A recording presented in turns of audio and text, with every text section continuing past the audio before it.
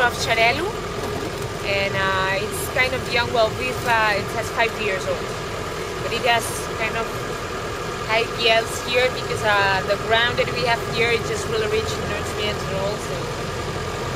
And then, well, this is a Merlot, which is red or wine. This is a 50 years old Cabernet Sauvignon. Fact, it's uh, one of the first Cabernet Sauvignon that has been planted here in this region. You know, Cabernet is a French type of grape that's been introduced by Jean Leon, and he planted this, uh, this vineyard here. Uh, for us, it's kind of uh, really proud of it.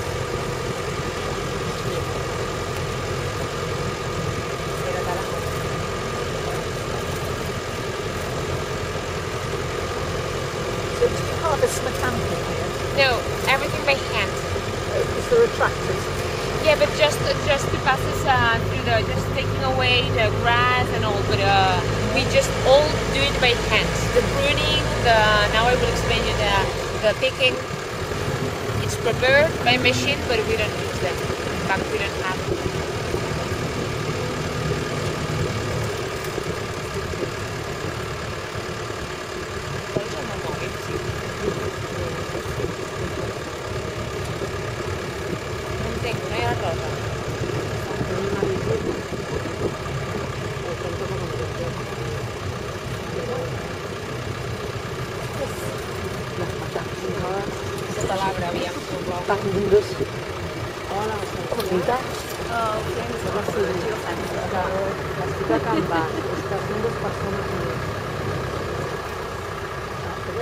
descarregar perquè He's got water then. Tu em pots passar amb el que t'ho trucar? Yeah, here will Per be. cas de... Si no, quan arribem. Vale? Um, que res, tu que ho sàpigues. Well, so as I said, uh, here we have the 60 hectares and a half of vineyards, and uh, well, they are all barely everything that you can see from here. The limits are the White House there. Okay. No, we will arrive at the jeep if the weather let it. Uh, so just go there. And uh, well, as I said here, uh, for the production of the cava, we use these 40 uh, hectares and a half, and the rest, the 20 rest, goes for the production of the wine, the still wine from here. And uh, here we work with 10 different types of grapes. Uh, well, we have the three autochthonous from the region, the Xarel·lo, Macabeu, and Parellada. Uh, also, we have a vineyard of Muscat, and uh, also we work with the Chardonnay and the Sauvignon Blanc. And for the red ones, we have mostly Cabernet Sauvignon. We have a vineyard of Merlot, little vineyard of Syrah. And one year ago, we planted a vineyard of Pinot Noir as well. This uh, Pinot Noir, the future will go for the production of our vintage rosé, one of our cavas here. And uh, well, as we have so many different types of uh, grapes, this means that here we have a really kind of uh, uh, really um, a lot of months here harvesting. In fact, is that we start here first, second week of August. Just for we start with all the grapes that will go for the cava production. Then we'll go with uh, white wines uh, for the white grapes to the still wine production, and then for the red ones. And we just end the last week of October. And as I said here, all the picking we'll do it by hand. We have a manual harvest here because it's a way that we can make a first selection of the grapes directly into the vineyard, and of course it's a more respectful way to treat the to treat the plants. And as well, just also following all this respectful philosophy that we have here for the environment, we treat all the vineyards in organic. Hmm. Here we are organic. Uh, you will see the cavas. We don't have the labels yet because uh, we've been organic since the vintage 2017. You know that you have to prove, you have to certificate that you've be, been working as organic five years till you get the certification. And then the, all the wines and cavas that will come from the vintage 2017, they will just have the, the label. Uh, speaking a little bit about the ages of our plants, also we have uh, different different range of ages. We have our youngest Pinot Noir with just uh, one uh, year. Then we have the Xarel·lo that I uh, show you with five years old. Well, then we have some Cabernet like this one that with 50. And we have all, oldest vineyard, it's a vineyard of uh, Macabeu, another of Xarel·lo that has uh, 90 years old, 90. We'll now just get to the the vineyard there because it's kind of impressive. And uh, you know, uh, old vineyard has really low yields, but the quality from the grapes that we get from these vineyards is just amazing. And uh, all what we get from these uh, old vineyards goes for the production of the Grand Vintage. Is one of our just well. mm, This week they've told you, they've told us that uh, this cava will be cava da Pará, já qualificado. So we are kind of really proud. So I think it will be a good idea if you can see uh, this uh, this vineyard here. And we will taste it afterwards. Mm-hmm. Well, then course. So you have any questions? No? Okay, so we'll continue.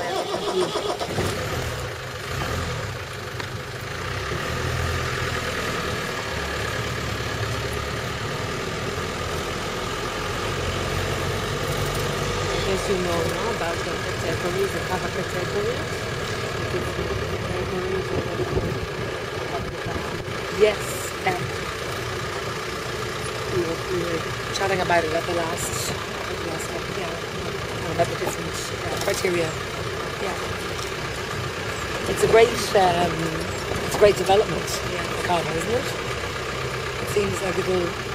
Yes, it's like a little a- step, yeah, Yeah, to, It's like that top standard Yeah. quality for yeah, because also has been a lot of trouble about their cava, and I think it's a very investment, good way that you can defer some some products from the other. Yeah. through a lot of administrative uh, Yeah. papers, no bureaucracy, because you really need to pay attention to Yeah. details. Like you really need to prove no, that the the area, the plot is different.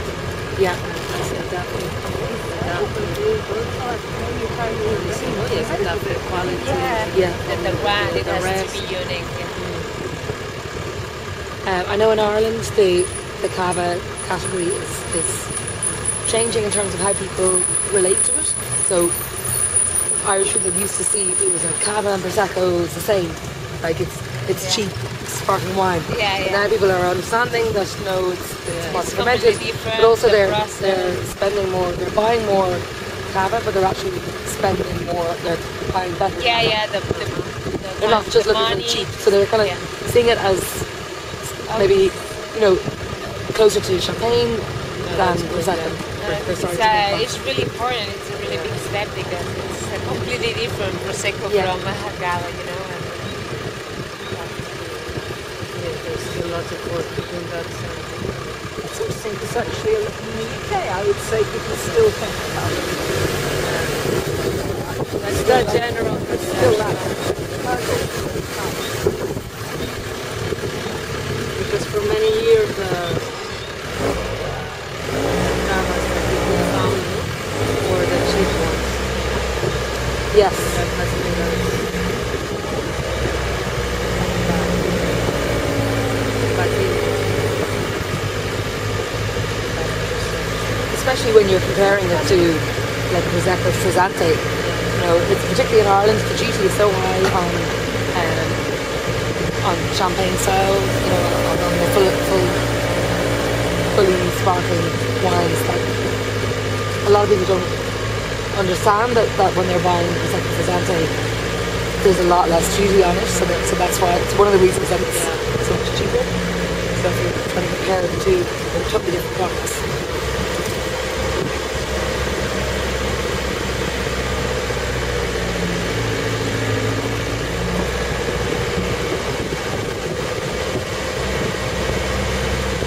What's this figure? this is not our property. It's from yeah, it's from others. Yeah, but uh, well, it's Chanel.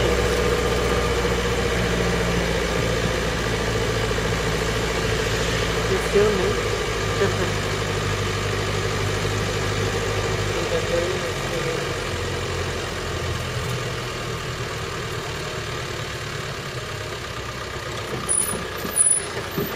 What other wineries did you visit? So we just came from Villarno. Um, these Villarno. Pronouncing that wrong one. Villa, how do you pronounce it? Villarnau. Ah, yes. About. Yes. Which is very nice. but I, I joined these guys today. So you, you would already be out to Cansala. So it's two, I mean, because then you just Ah. Very good. Today is the second day of them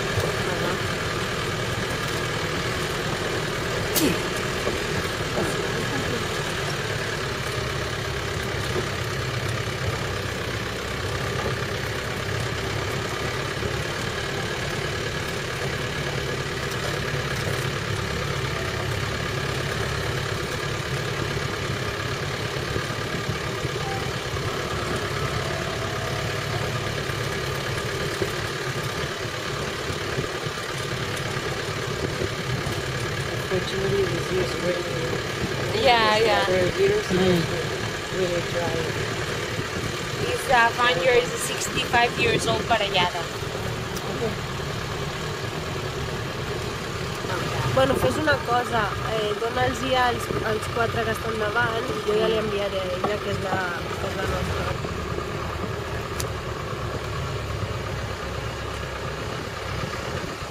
welcome to my home and also to Canvas. Uh, you have seen now the vineyards uh, where are born uh, all the grapes for our special for our Grand Reserva Cavas. Now uh, with Beth, uh, you will visit. I think a short visit here, just in order to know where the grapes are uh, going to wine.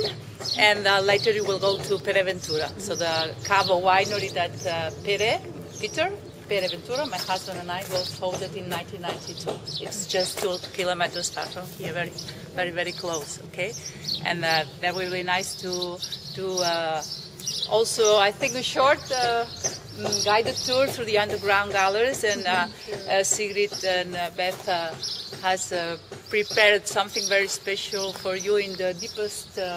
Uh, place of the winery and later of course the traditional cava tasting okay now we are very proud and very glad because two days ago uh, we have received uh, communication about uh, the cava de paraje for one of uh, our uh, Grand Reserva cavas and we are really very very happy It's not official yet, right? No, we know. You are maybe you are the first ones to know it. Yes.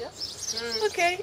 So thank you, and you can go on if you like, of course, with Beth. Oh, thank Well you so much. Thank you.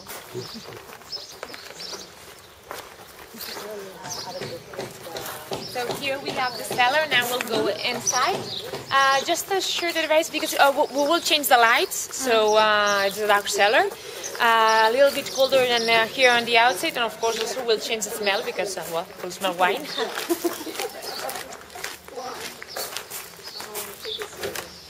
please be careful with the stairs.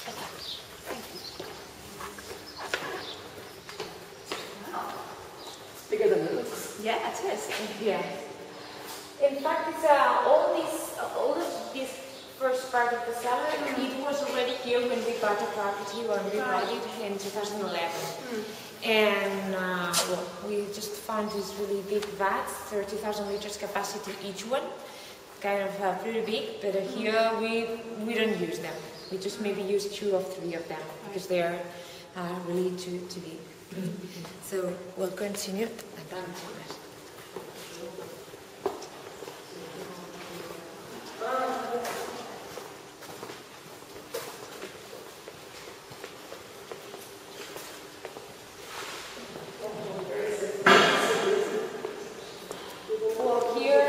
I will not start explaining the main process of elaboration because I, that you already know them.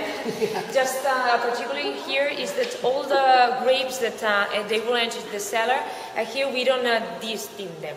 Okay, so we'll just enter to the press with all the steams, the whole bunch of berries. Okay, just to have more chance to press, pressing them and uh, we think that uh, then it's, it's better with a high quality juice of the grapes. Okay. Continue a little bit more. And yeah, another particularity here is that before entering the grapes inside of the cellar, we have big refrigerators to cool the, the grapes. because as we have a manual picking, we have to pick them uh, during the day. And here it's kind of hot, so we are 30, 35 degrees Celsius of temperature. And of course, it's the same temperature that the grapes they will get. So it's better for us, just it's a cleaner way of working if we can just enter them at 8, 9 degrees Celsius of temperature. Okay.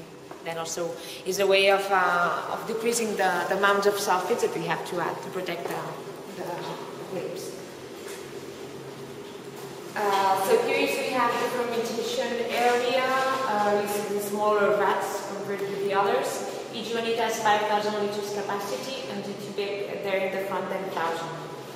Here, uh, the fermentation, all it's spontaneous fermentation, so it's the autochthonous yeast that will just come along with this with this uh, fermentation of the cavas, okay, with the first fermentation process.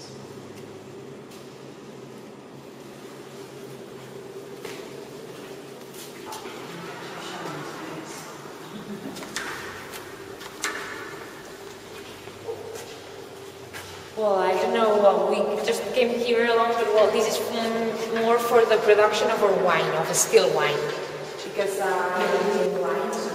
they press the grapes with the feet, and then they put here directly to just to ferment. So well, here we can see this evolution of technology, from the to the. And now we use these stoves for the second fermentation process and aging of the grand vintage. So the, the cabinet is the Caraja, the one that comes from the 90 years old vineyards. They have the cut bottles. Yeah, now I see better because we have another wall where we can go inside.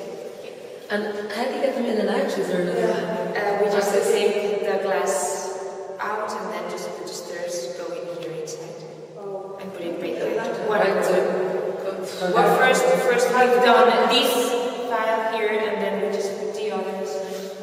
It's, this is one vintage, the same vintage, you know. I was wondering the same. Hmm. Per qui no baix? Mm, this is incluso para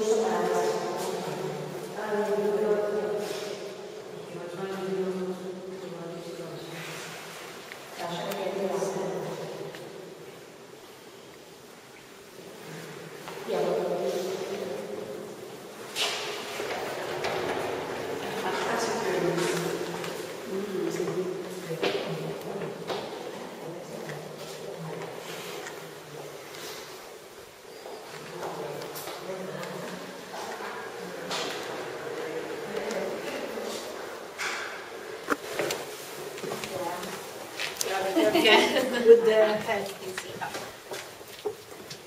Ah, what? Okay. Now we are. We are kind of underground here, but Yeah. This is a, and you can see it here. It's uh, our bottles. We have uh, four different vintages now aging here, and you can see well, it's uh, here we have with all the yeast and and it's really fuelized because the, the bottle is transparent bottle, so we have to be aware with the oxidations and all. 嗯，自，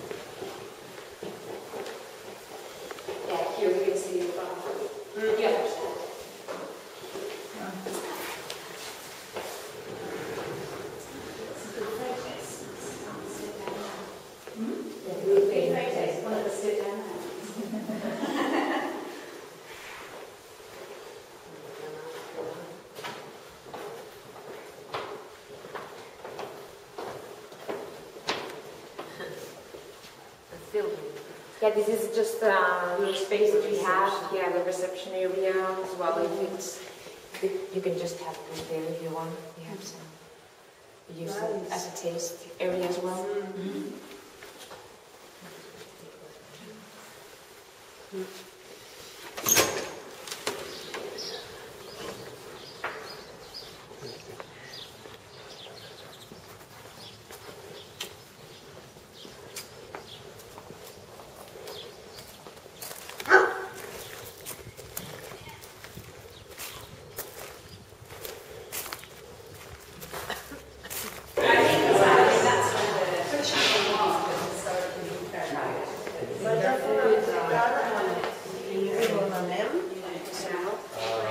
Afegint l'últim grau, careful with the floor because it's wet. Oh yes, I see. Hey, Christopher, don't. Yeah, it's a little bit uh, slippery. yeah. You know, there, there is people, they say, yeah, because it's slippery, because maybe because it rains. But of course, this is not, uh, this is not the, the, the case. But actually what you see is that because it's raining, the temperature of the, the soil, the ground is going down. And the difference in between the temperature here and in the soil is giving a condensation. And this condensation then it drips, and then uh, that's why it's a little bit. Uh, Yeah, it. yeah? Be careful. Be careful. Yeah, we- um, Yeah, please be careful.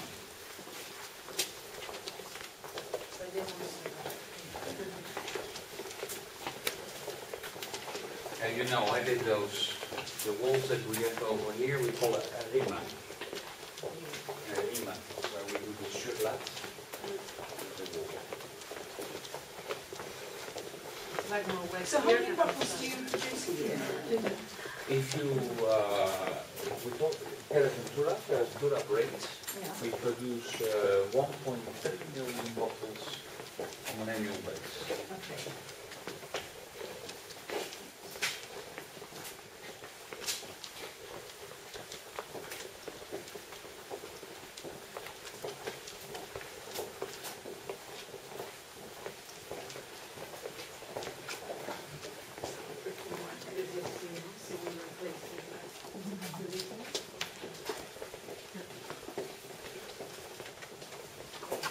So what you see over here as well, uh, we spoke about sustainable, but here as well, we are not using uh, air conditioning. So every- everything is, uh, is natural. This is natural temperature. A natural temperature over here. We have uh, we have three levels. So this is let's say the highest level, and then we're going down two. We have three in total. It's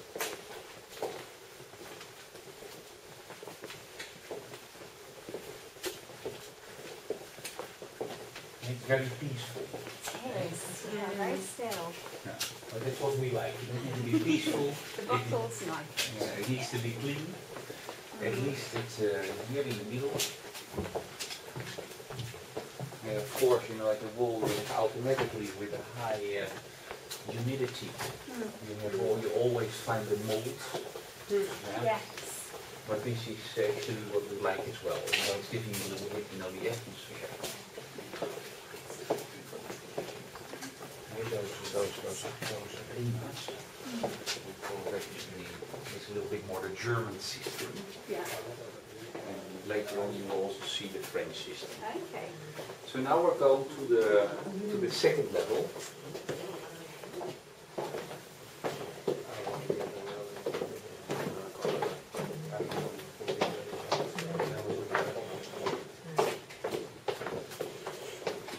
We're going straight, we're going straight.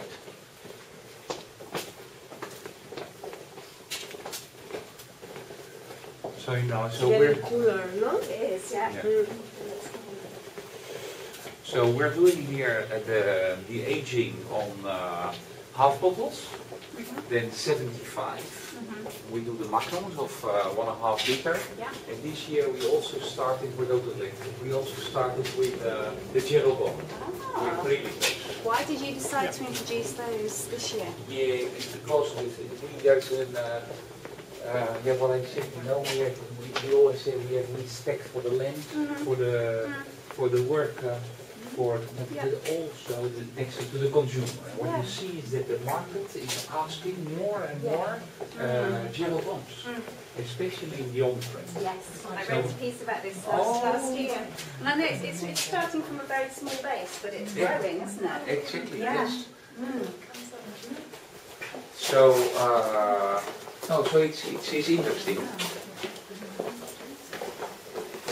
And like you know, we are not allowed because we're only one of the few producers that is doing minis as well. So we're doing 20 centimeters as well. Uh, but we're not allowed to do this the aging near the underground cellars. So we do the so-called transfer method. So you need to, uh, after the degorgement of 75 centimeters, Yeah. we are putting this in a 20 centiliter bottle. Why are you to age them down here? Is it just a rule? It's a rule, it's, yeah, it's, it's Yeah. let's say part. So here we see this is a little bit different than the German system with the RIMA. Yeah. And this is what we call more the, the, the French system. So you have a sub-calf, you know, that we start at the beginning and then we build the, the front. Después hay el sistema español que no tiene, no tiene maderas. No tiene, no, no tiene, no lat, no latte.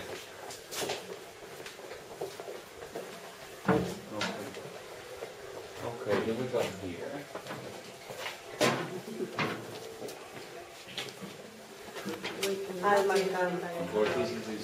Of